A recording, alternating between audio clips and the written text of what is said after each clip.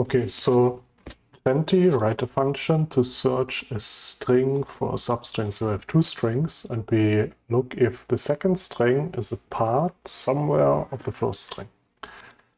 Um, so let's test. So again, we use car and we check is car in today I drive my car.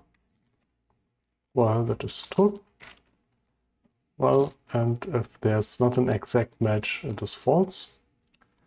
We can turn it around. Now we take the uh, bigger string and check if the bigger string is in the smaller string, which is nonsense, right? Because something bigger you cannot fit into something smaller. False. So this syntax we can convert into a function definition. So search for string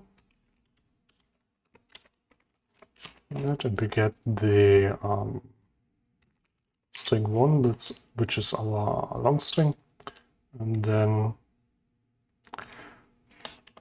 the look for string. Good. And the only thing we need to do is we need to change is look for string in string one. And that's it already. Quite simple.